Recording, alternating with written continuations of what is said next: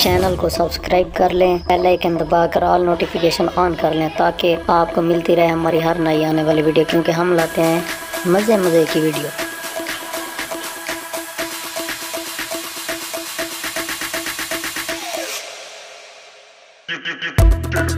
Thank you.